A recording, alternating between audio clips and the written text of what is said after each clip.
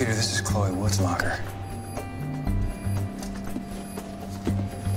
Put the envelope in the back of her calculus book. Find out what's inside and meet me in the quad.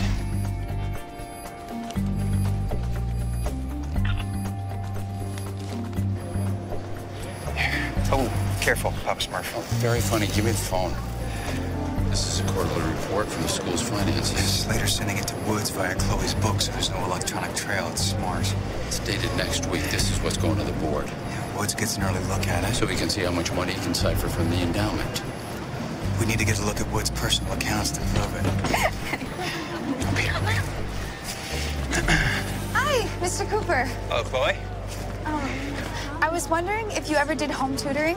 We're about to start our Tale of Two Cities, and I would Oh, love it if well, listen, I- I'm, I'm just here temporarily, but I'm sure we could work something out. Really? Yes. You could come over? As long as your dad's home. Yeah, um, uh, tomorrow afternoon. Good. You know what? We should invite Evan. Who? Evan. You know Evan? Evan, this is Chloe. Chloe, Evan. Uh, we're meeting at Chloe's for a tutoring session tomorrow. Yeah.